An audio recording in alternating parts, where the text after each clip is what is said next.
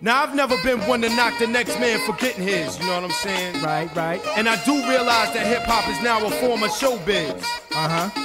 But this has always been something with which you have to be true. So in the year of 1992, Now this is how we do. at the age of 19, heard the scene. A lot of MCs that do not come clean. Frontin' on dealing hard times and rhymes. You see them in the streets and you see no signs of the hell. And they get on stage and tell some old Talking that extra hard junk, you're probably a punk. And I'ma let you know that this way you just don't cut with the artificial flow. Neat exotic breakbeats and necks. When fakers try to front, they'll get smoked like blunts. My rhymes penetrate like skunk. And your word up,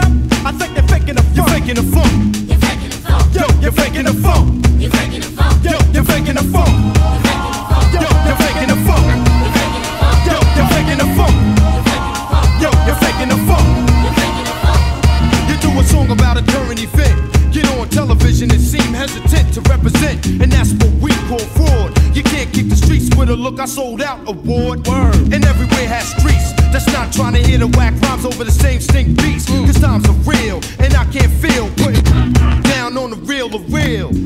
Now I'ma let you know what those weak style of raps, it's time to go. I eject, rejects that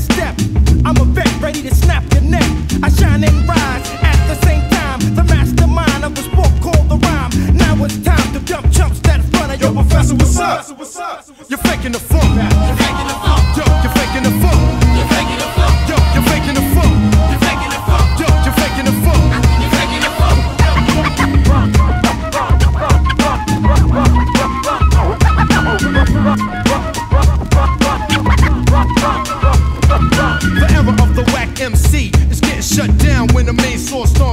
sound. Cause we just don't play the role of a clown and keep things jumping with the real rap sound. To the crossover rapper with the bleeps. To the jumps that's claiming the streets. Frontin' incredible feats. To the girl acting like a prostitute. Wearing that hooker type suit. To the rapper with the big space shoes. To the artist that doesn't pay due.